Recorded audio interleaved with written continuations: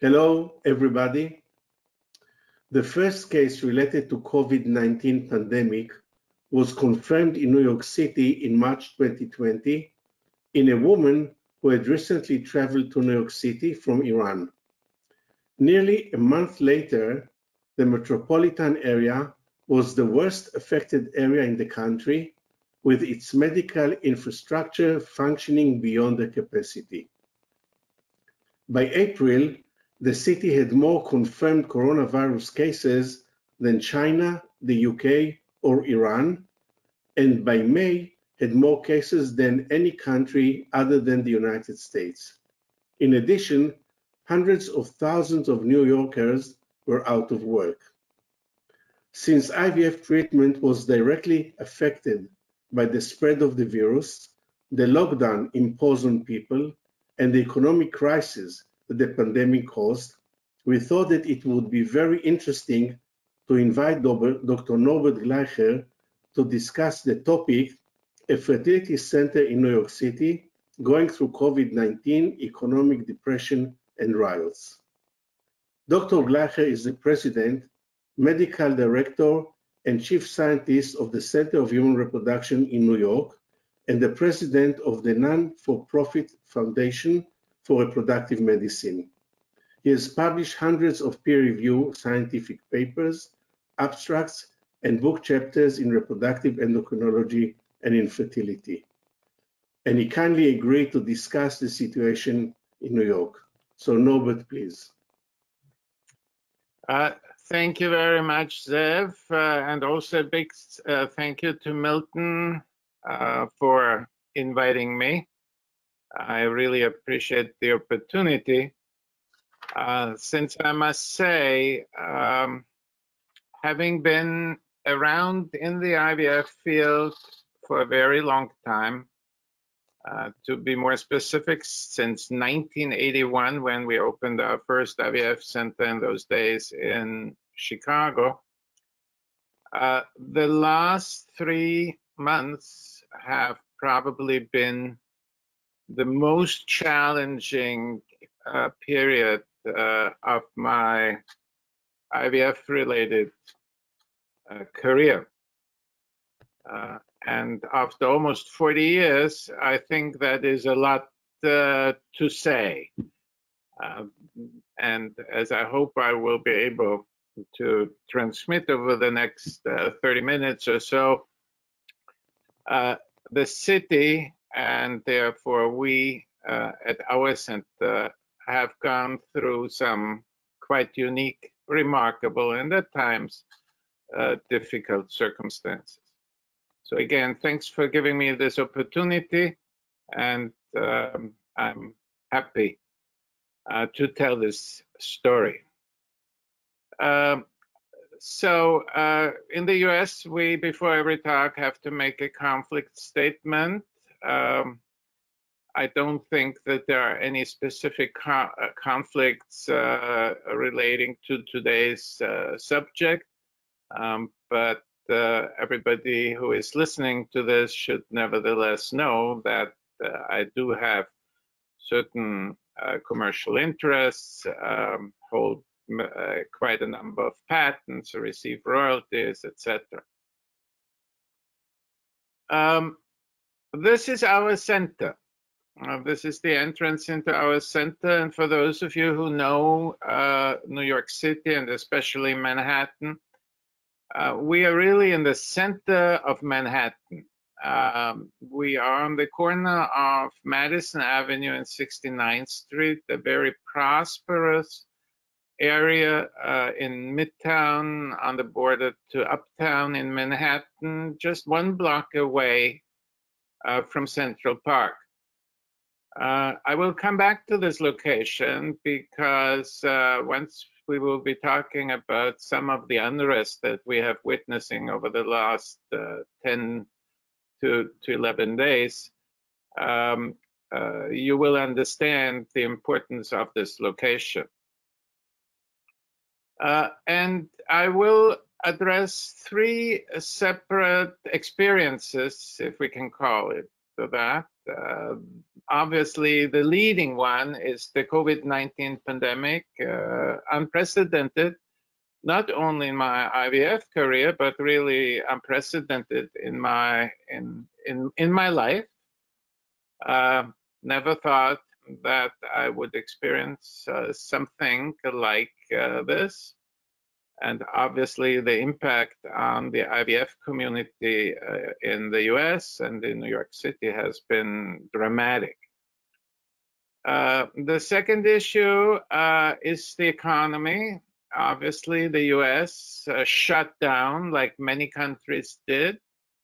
I will a little bit comment on this later on. Um, but New York City still shut down. We are still in only what is called phase one of reopening, uh, which means that we still do not have uh, open restaurants. Uh, we have only delivery and pickup, uh, curb pickup. Uh, we still cannot go uh, to get a haircut. I haven't had a haircut in over three months, and soon we'll have to wear a ponytail. Uh, so uh, the city is still largely closed down. supposedly, we will enter phase two next week, which will mean that some of these businesses will open up. Uh, but you would still not recognize, after all of these weeks and months, you still would not recognize New York, which was always bustling, which was always loud, which always had traffic jams. None of that exists uh, anymore. Um, I'm always jokingly telling uh, my friends that I was never able to find a parking uh, spot uh, close to our office on our street uh, during uh, regular hours, if I take my car for a little ride, usually short rides because there's nowhere to go, and I return an hour later, now the same spot is usually still open. Unheard of in New York, but now, as I said, a routine a lot of New Yorkers left New York. Uh, it therefore, uh, particularly in economically uh, better off areas, uh, buildings are empty. Uh, people went uh, to the country homes where they felt safer. At the same time, while having been the, at the very top of cases, as I will uh, shortly demonstrate, uh, we uh, are now very rapidly declining in both case numbers and more importantly, hospitalizations and mortality. So the worst seems to be over and we are starting to be cautiously uh, optimistic. Um, but you can still very clearly feel the uniqueness of what we have been experiencing in conjunction with COVID 19 and uh, with the consequences, with economic consequences uh, of um, the shutdown of practically uh, almost all businesses.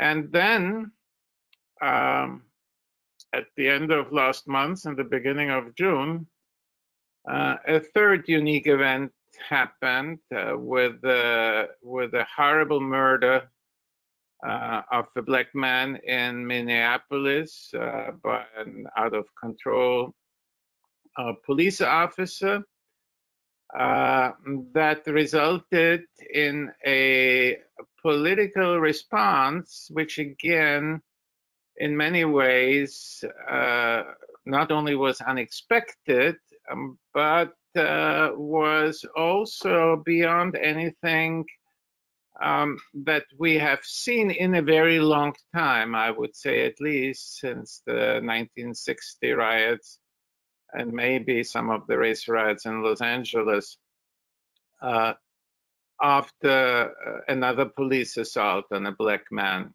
uh, in, in, in those days. We saw uh, many peaceful demonstrations Uh, but particularly around uh, June 1, June 2, as I will show you a little later, we also saw horrible rioting. Uh, we saw looting uh, in areas that have never seen that before, and whole areas like Soho, like Madison Avenue, as I said, uh, that is the avenue where our center is just off Madison Avenue and 69th Street. Uh, Fifth Avenue, uh, all areas uh, that have never seen any any rioting and any looting of uh, this extent exploded. and I will come back to that. So these are the three topics I want to address, and we are going to start obviously with the pandemic. Uh, and even though Zev already gave you a historical introduction, I want to go a little bit uh, more into detail to demonstrate to you how um, unprepared uh, we were caught by this uh, pandemic um, here in the US, and particularly New York State and New York City. So officially, the the virus was first uh, reported, detected, whatever you want to call it, in Wuhan province in China in December of last year. Uh, there are now data, particularly a study from out of Harvard, uh, which was based on aerial observations of traffic, uh, uh, car traffic around hospitals, recently suggests that, uh, or recently supports prior reports that actually this this virus was probably circulating in Wuhan already two to three months earlier than December. Uh, a first case in the US uh, was reported in mid January, and it was reported on the West Coast. The first case in New York, as Zev mentioned it, uh, uh, this was uh, a traveler from Iran, was reported on March 1. Um, already by March 7, uh, when there were only 76 cases, the governor of New York already declared a state of emergency. Uh, and this was largely based on uh, a first outbreak in a suburb of New York where an attorney uh, who, who was a member of a very close-knit Jewish community uh, was uh, infected and very quickly uh, infected many other people. And uh, New Rochelle, which is the suburb, was within days the first quarantine zone uh, in the US. Now, when this happened, I have to acknowledge that I thought it was exaggerated. And I thought it was exaggerated because when we first heard about this virus in China, we were reassured by our most prominent uh, public health and virology experts that there was nothing to worry about. Uh, that this was a virus uh, that uh, really did not represent any danger to the United States. Uh, those are those experts who later on very quickly obviously changed their minds uh, and very quickly became amongst the strongest proponents going to the other extreme and uh, arguing for a complete shutdown of, of the US uh, economy. Uh, so we were ignorant and we were also unprepared. And when I'm saying we, uh, I'm grateful for not having had all of these responsibilities. But we applies to almost everybody. It applies to the federal government that was unprepared it applies to New York State and many other states that were unprepared, that didn't have even minimal supplies ready. And I'm sure that this will become subject of future investigations, why and how that could have happened. because it was really pathetic. Once the epidemic was here and once uh, the, the load of patients in hospitals very quickly increased, uh, it was it is unbelievable to imagine the scenes uh, that we witnessed in America. Uh, and uh, in retrospect, uh, it it is it is really hard to understand that responsible parties, whether this is at the federal, the local government, but even at major hospitals, that hospitals didn't have policies and supply reserves in place that were ready for this onslaught. And this is what I want to show you here because uh, there was time. Look, the first case, as I as I showed you before, was in the mid of January on the West Coast. By two months later, Mar middle of March, uh, there were already 325 cases, and Broadway was closed. But this was still a highly manageable situation. Yet, when things got worse, and they obviously very quickly did get worse uh, after the middle of March, and you can see here uh, on the on the right always the number of cases and the number of deaths as of those days, and you say you can see that starting in in the middle of March, suddenly both of these numbers, hospital admissions and number of deaths, uh, started rising a at a logarithmic scale. And what this in practical terms means that there were two months to prepare. But apparently there was not much preparation because uh, when this onslaught finally happened, hospitals were overwhelmed.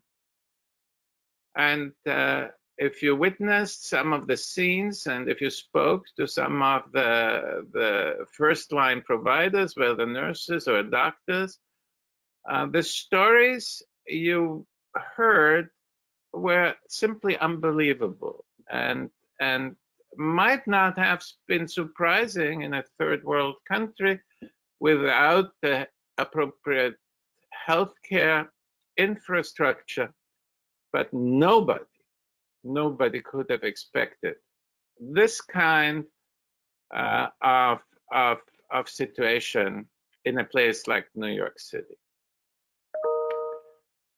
It was at this time that ASRM, for the first time, for the, for the first time, published a guidance uh, and uh, this document uh, ended up uh, being highly, highly controversial because it was understood by most colleagues as a recommendation to close down all IVF activities. Uh, as I will come back to a little later, this was not our interpretation of the ASRM guidance, and therefore our center never closed but this was clearly uh, the interpretation of most people. Whether it was the intent of the ASRM uh, to have everybody close down or not, I cannot comment on. Uh, but uh, the consequence was that most IVF centers closed. Certainly, all academic or hospital-based centers closed and not only closed, but moved a lot of the personnel into COVID-19 care situations. Some private centers, like ours, uh, remained open, but it was a small minority, and there was a lot of conflict behind the scenes um, uh, between ASRM and uh, some IVF centers about this first guidance. I don't want to get into the details. If you want to to know more details about uh, what happened behind the scenes, please go to our monthly newsletter or on our website. Uh, we, from beginning of the COVID uh, uh, situation, we have been publishing uh, regular updates uh, as so-called bulletins on our website, and you will find between our uh, newsletter and uh, those bulletins a lot of information about what was indeed going on behind the scenes uh, between uh, some of the major private providers uh, and ASRM. Um, numbers got much bigger very quickly. And uh, as you can see here, these are data from two or three days ago. As of this point, uh, New York State has seen roughly 390,000 cases and 31,000 deaths. New York City alone has seen about 215,000 cases and almost 22,000 deaths. Fortunately, we are now uh, at a point where we have had days without death in New York City. And that is obviously uh, a, a, wonderful uh, and important uh, step. Most IVF centers have also reopened uh, recently, not all yet, and not all yet uh, for all procedures. Uh, again, ASRM, uh, like also ESHRE, have repeatedly uh, published uh, updated uh, guidances.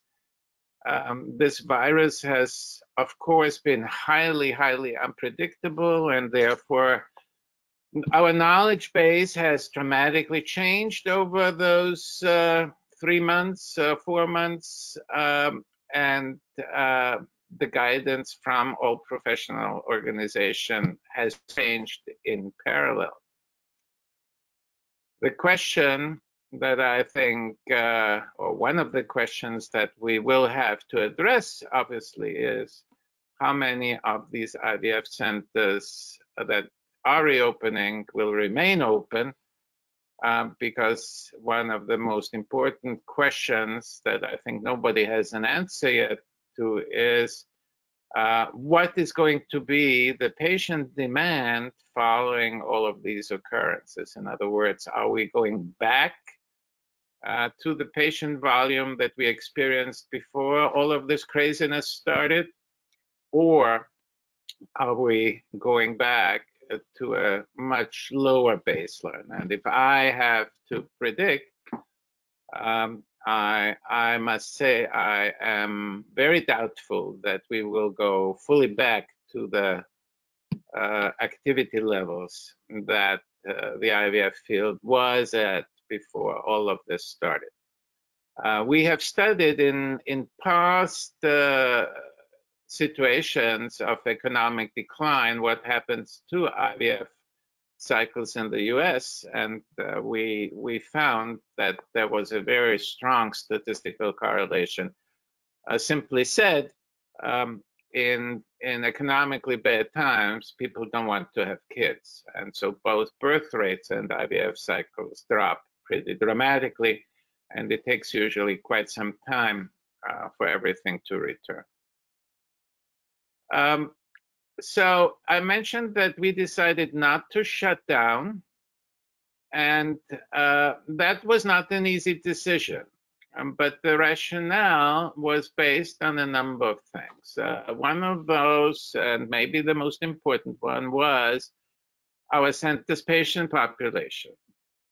Uh, we are a very different IVF centers from most, if not all, uh, centers in the US in that uh, over 90% of patients who come to us uh, have failed prior IVF cycles elsewhere, often multiple cycles, often at multiple centers. And they also represent the by far oldest patient population of any of our 500 plus IVF centers here in the US that are reporting uh, to CDC and SART. Uh, the average age uh, for IVF patients in the US uh, up to uh, 2016 has been 36. Ours over the last three years has been 43. So we have a very unfavorable patient population at our center who simply do not have the time to lose.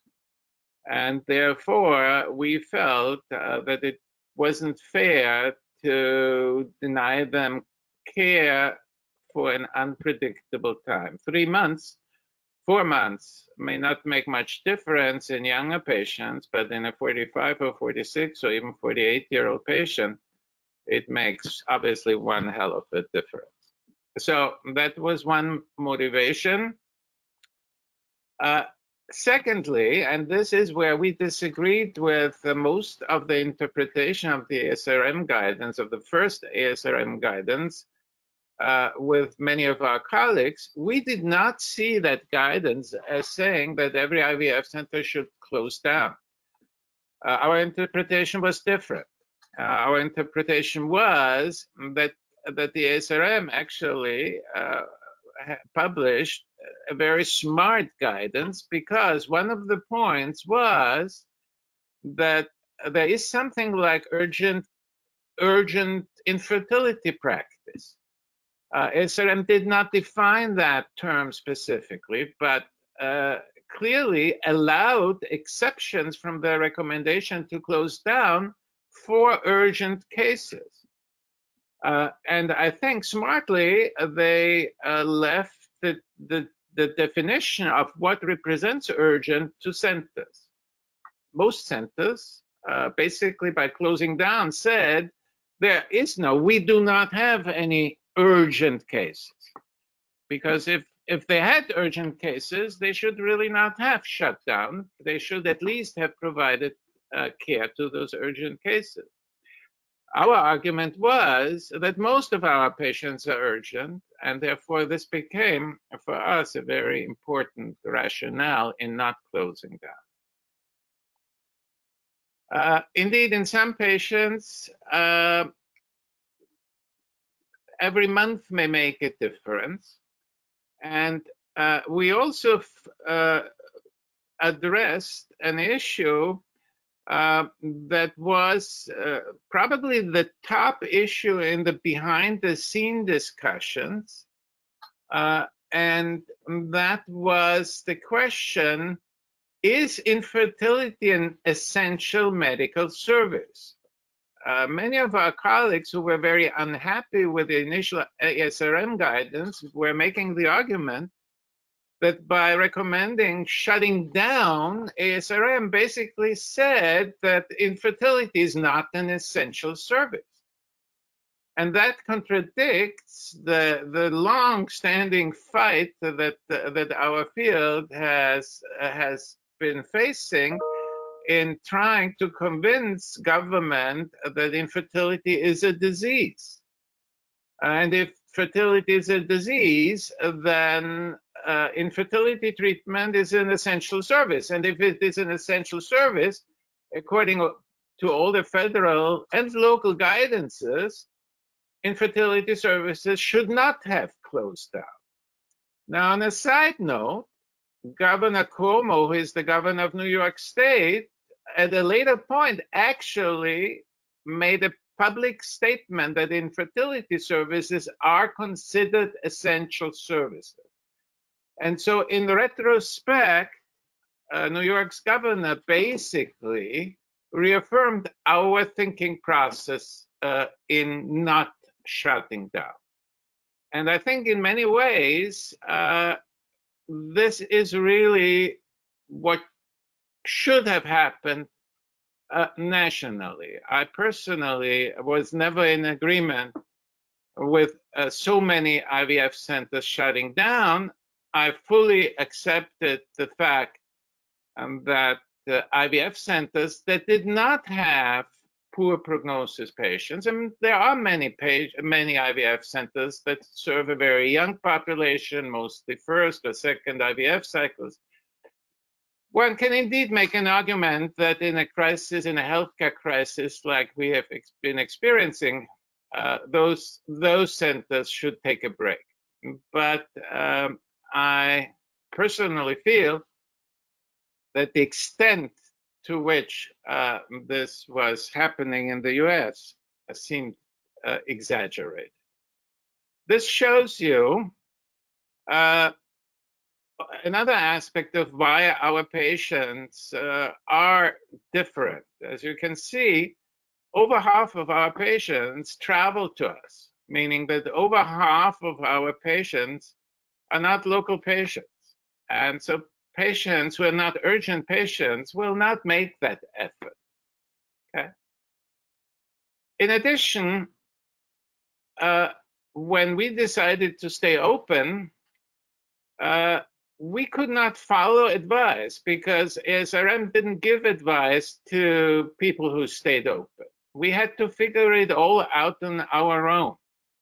We had to start worrying how does this potentially affect our patients? How does it affect patients who travel to us? Indeed, many simply couldn't come anymore. And we found ourselves in situations where we had uh, to tell patients to continue their treatment locally. We had situations where, when that happened, they couldn't find any open local IVF centers and they had to just give up until uh, flights became available again. So there were unique issues arising every single day that we never before had to confront, and we had nowhere to look to. We had to make decisions ourselves on how to handle them. How do we protect our staff? Uh, it it now now there are guidances from CDC and from other places. In those days, that we didn't have any guidance, but we were aware of the fact that even if one of our staff members got infected, it could shut down the whole center because uh, of the separation policies that that were already in place. Uh, so uh, it was a very complex time in terms of completely revamping how our center worked. And it is still working till today. You see me here with a mask uh, under very, very strict isolation criteria and in a very different way from how we used to work. Okay. Uh, finally, we had to explain to our patients uh, that there was a risk uh, in continuing the treatment. And uh, they had to make a choice whether they really wanted uh, to, to pursue such a risk. And finally, we had also to explain the same thing to our staff. Oops, I'm sorry. So I'm not going to spend a lot of time on the economy. We have, by as of today, over 45 million people have uh, applied for unemployment. I don't have to tell you how much money uh, has been lost, not only in the US, but everywhere. How many businesses we will lose forever. If you walk uh, through New York City or drive to New York City, you would not believe how many for rent signs have sprung up uh, in stores all over some of the best streets and in some of the not so good streets. Uh, and I think uh, one of the most disturbing experiences to me uh, was how these the the so-called unintended consequences from all of this, from shutting down the economy, how all of these unintended consequences were completely overlooked in the public discussion of how to handle the COVID crisis. Our leading public health experts, who you could see on television every single day, often together with the president, giving daily press briefings, not once in the first few months mentioned unintended economic consequences. And when I'm talking about unintended economic consequences, I'm not only talking about the trillions of dollars are lost, the businesses that will never open up again. I'm also talking about unintended medical consequences. They have been horrible. And we don't even understand as of this point how bad they are. Because we do not know how many cancers haven't been diagnosed in timely fashion, how many of the so-called death due to COVID were really not death due to COVID, but because the cardiac disease uh, went out of control or the diabetes went out of control in those patients because they didn't get their usual medical care. And worst of all, in all of this, healthcare providers are being laid off to the left and to the right because these hospitals that were just a few weeks ago overrun by COVID patients are now empty. And they cannot afford to pay the salaries. So, uh, again, the management was not a very good one. And that brings me to the last point. I told you that we are located on the corner of Madison Avenue and 69th Street. What I'm showing you here is a picture that I took on June 1 uh, from one of the upper floors, and it shows the intersection. And if you look closely, you will see there are some police cars, uh, and you will see a few figures sitting on, on the ground and what you're witnessing here is the arrest of a few people who were rioting on that night. It was the worst uh, or the second worst night of rioting. We were on 69th Street up to 63rd Street. Almost every single store on Madison Avenue, one of the prime shopping streets in Manhattan, was burglarized uh, windows were broken, uh, stores were looted, uh, all the big brand names are on the street. They all were smashed and looted. This was a very well organized effort. This was not only an accident. There were obviously other people, you know, who, who joined the crowd, no question about it. But this was an organized effort. I can tell you that from my own observation. About an hour before these arrests that I show you here on the picture took place, I looked out the window and I saw a so-called scout at work. This was one gentleman uh, who was taking pictures of those stores on the corner. And you, after he took the pictures, you could see that he was sending them somewhere and then he made phone calls. And less than an hour later, the first uh, demonstrators started coming up Madison Avenue. And as you can see here, were fortunately arrested before they could smash the windows. There was no smashing over 63rd Street. If I showed you the same picture the next day, every single store along Madison was boarded up with wood planks. And many of those still are boarded up with wood planks. And Madison Avenue and Fifth Avenue and other areas of New York City, even though they are uh, starting to reopen, uh, look like after civil, like, like Beirut in, in, in the midst of the civil war. It was really a frightening experience. And I can tell you that that night when I shot this picture, I was seriously worried about our safety at the center and was thinking such crazy thoughts about what am I going to do if they break in and go into our uh, freezing laboratory and and and start ransom, uh, ransacking our tank. Imagine that you have to think that. But that's exactly what I had to think at that moment.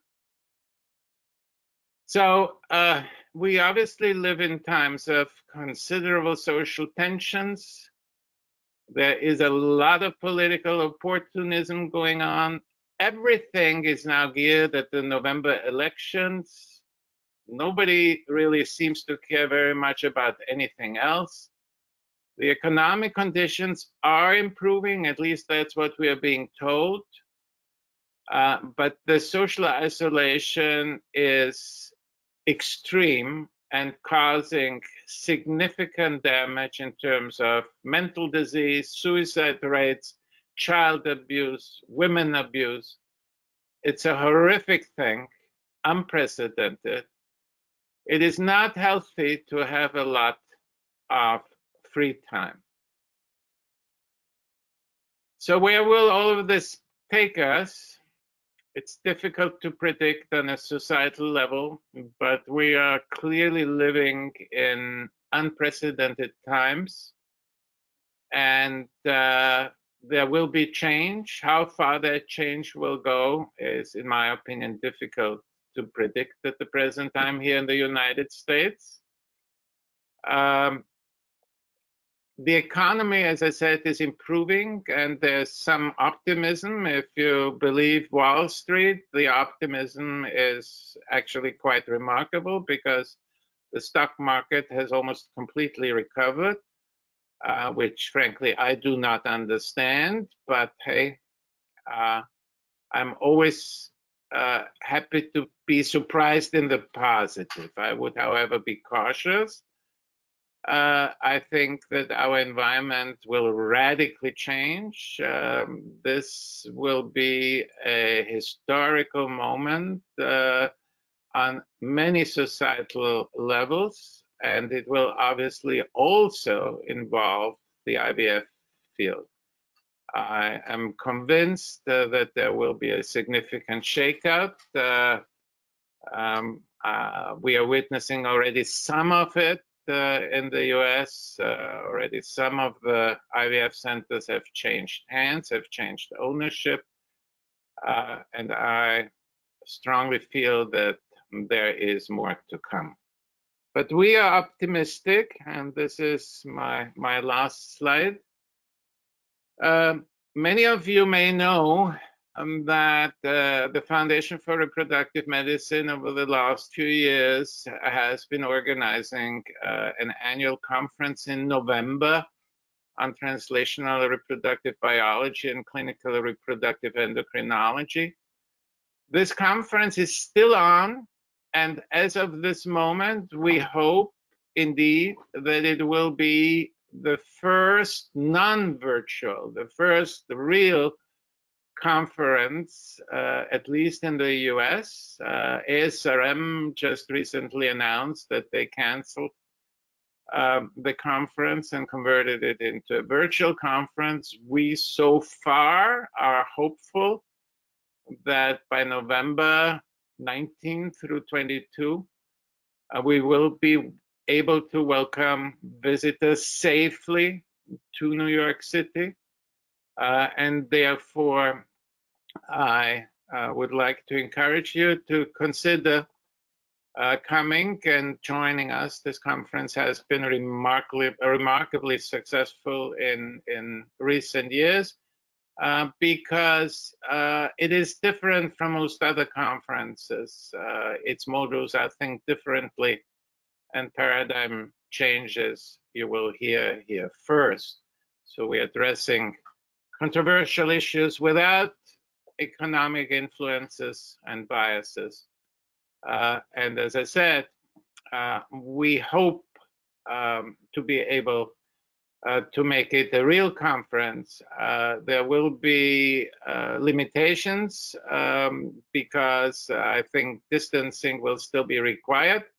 So the number of registrants will be limited, uh, but we are in a new venue uh, where we have much more options uh, for safe distancing than in the older venue where the meeting has taken place before. So uh, with this, uh, I want to show you our staff numbers on the left and our affiliates.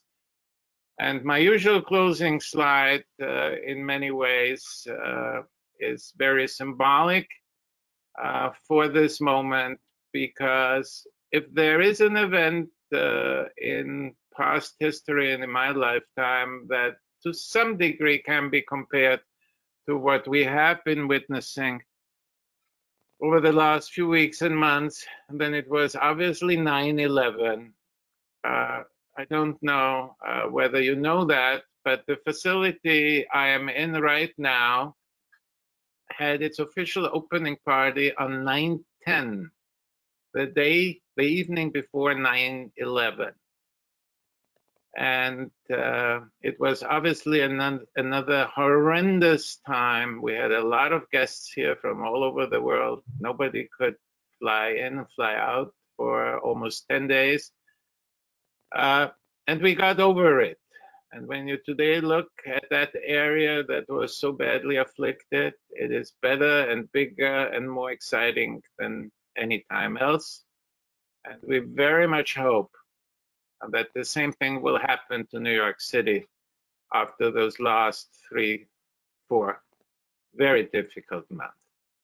Thanks very much for listening. And anybody who has any questions, uh, you know where you can reach me. Thank you. Thank you, Norbert. It was really an extremely interesting lecture about the crisis, the health crisis, the economic crisis that we are experiencing uh, this month. And I have for you some questions as you experience uh, the coronavirus in New York, which obviously was not easy. How did you manage with your staff, transportation, coronavirus testing, um, wearing masks or gowns or anything else, you know, coming in the morning, how the patients behaved. And another question while coming in, uh, pregnancy, becoming pregnant at this time. What did you explain your patients uh, when the ASRM asked to stop uh, treatment and you decided to continue treatment? On the other hand, no authority actually asked women not to become pregnant. So why yeah. IVF was abandoned and everybody can get pregnant if they can spontaneously become pregnant. So how, how did you deal with all this situation? Yeah, yeah. Well, uh, to start with your last question first, uh, that was an obvious argument uh, why why should we discriminate against women uh, who had an infertility problem? You know, um, but as I, as I said, it required a lot of work. It was not an easy decision for us to to stay open. Uh, we were those strongly influenced by our patients. We had a lot of patients here who who were stuck uh, in a way. They couldn't fly back suddenly. Uh, and we had a lot of patients who called and and kind of begged us not not to close down because they were planning on starting a cycle or they had started already a cycle. So there was a strong uh, pressure from our patient community. Now, uh, what did we do? I mean, we basically invent, reinvented how we provide services. We had one big advantage, and that was that we have been used for many years uh, to handle patient interaction via the internet, via Skype or, or any other platforms. Uh, because uh, two thirds of our patients are not local, this is how we have been practicing for years. So uh, this was not something new. So what we did is we just expanded it. We now said to our local patient also, you cannot come in just for consultation. All consultations have to be done on a platform. Uh, we we also changed the access uh, we allowed only patients into the office. Uh, all of their significant others had to wait outside. Um, we minimized the numbers of visits, uh, but we maintained the essential visits uh, for monitoring, for blood draws, and obviously for retrievals and, and transfers. Uh, we we went on uh, on shifts, meaning uh, our staff was uh, cut into two teams. Uh, and there was only uh, half of the clinical team in-house while the other one was off. And the purpose was that at least in the early days where really nobody knew how is this virus infecting other people, etc. We wanted to make sure that um, if one person gets infected, it wouldn't mean that because of the required quarantine, we would have to shut down the whole center. Uh, it would give us the opportunity to just work with the other team. Uh, and and uh, so so the, there were many many major changes in in how we we practice and we obviously also uh, changed the information. Uh, one, if you go to our website again and look at our newsletter and look at the bulletins, uh, for our patient population, we maintained a very active information flow at all times. You will see there when the first uh, pregnancies were reported um, pregnancy outcomes when the first reports came out that some some uh, complications may occur we immediately put that onto our bulletin it was obviously very very important to us to give our patients the best possible advice uh, but fully recognizing that the advice we were giving was always incomplete and changed. Um, when you look at uh, what we were told, what we were told through the literature or through um, CDC or FDA uh, announcements, it's crazy how that changed. In the beginning, we were told that masks not only don't help, but may actually increase your risks. Now, we were smart enough never to believe this. Okay, so we we we had a mask mandate from very very early on for every staff. But imagine that there where our leading leading public health officials went on television and we're not embarrassed to say that. It is it is really incomprehensible. Uh, but that's that's how the situation was. And I want to, I, I, I think I want to make one an, uh, another important point. When I'm sounding critical of uh, government, of hospitals, of ASRM uh, guidances, I'm not really trying to to to be critical in the in because we have never witnessed anything like this virus. Uh, so it is very easy to be critical uh, as a Monday morning quarterback. Uh, but uh, some of the stuff that was disseminated by so-called experts was really ridiculous. And the mask is just one example. And uh, that reminds me of the behavioral science literature, uh, which is over, which is really full with data that warns about expert opinions. And I would like to remind all the colleagues who are listening also that amongst all the levels of evidence in our hierarchical structure of evidence-based medicine, there is a reason why expert opinion is at the very, very bottom. And our behavioral science colleagues have researched this in very, very much detail and they have very clearly demonstrated that experts are biased. And that's why expert opinions have so little value.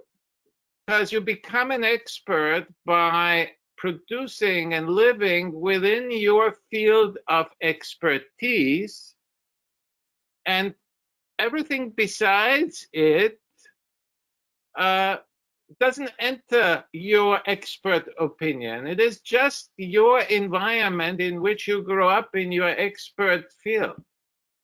And this is why a, a, a very credible person with an incredible achievement uh, history, like uh, Fauci, who is the head of the infectious disease branch at, at NIH, uh, could have come up with such ridiculous statements uh, early on as, uh, oh, this virus will never cause any harm in the US, and then uh, two months later, let's close down the country.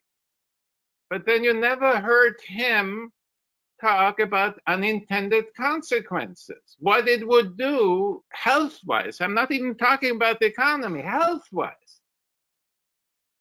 To, to, to all the population if you cost down the economy. Because that guy had the shutters on. He's an infectious disease guy. He knows how to deal with infectious diseases but he doesn't know what it does to a cardiac patient or to the immunization of newborns or and so forth. So I think if this this epidemic has taught us one thing, then it is to be very careful in believing so-called experts. Our behavioral colleagues have known this for a long time we need to let that know our politicians because our politicians who feel unable to make those decisions uh, then follow science. So this has become the, the new slogan in politics. We are all following science, and you are not following science, but I am following science. Uh, but following science really for these politicians means that they have their their advisor who believe and they do everything that that one advisor is telling them. And that is obviously dangerous because it can lead to a lot of wrong decisions. And we have witnessed this.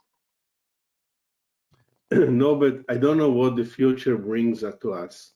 But I think that we will walk with masks for a long time I think that the coronavirus will stay with us quite a long time, at least until we have a vaccination that can be sent, you know, to everybody, which will take a lot of time.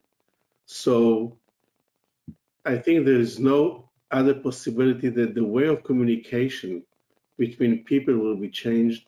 We use, we will use a lot the internet, the way we are talking now.